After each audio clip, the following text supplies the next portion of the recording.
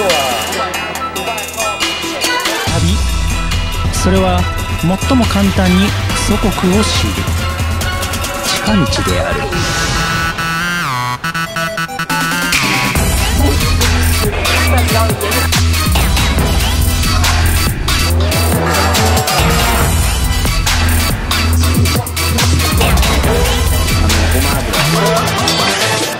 今回の旅は韓国。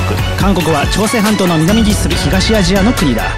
日本では隣国として多くの戦車問題を抱えながらも k p o p やファッションなど若者文化とは密接に関わっている。